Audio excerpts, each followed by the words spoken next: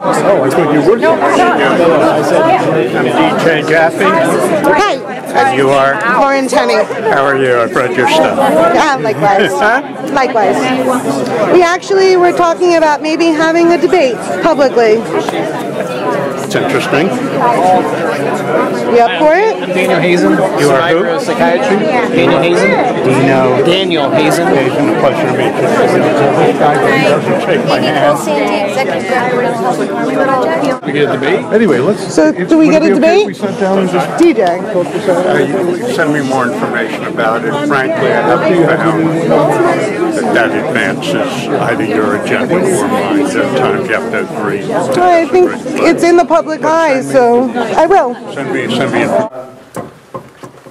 DJ Jaffe, founder of Mental Illness Policy Organization,